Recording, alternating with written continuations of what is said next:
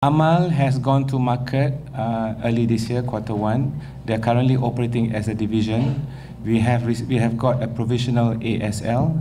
Um, we are in the midst of starting application for AOC. We are targeting operational uh, capa capability as a subsidiary by itself, uh, quarter one. Daripada 2018 hingga 2019, di antara MAP dan gabungan 4 KAER akan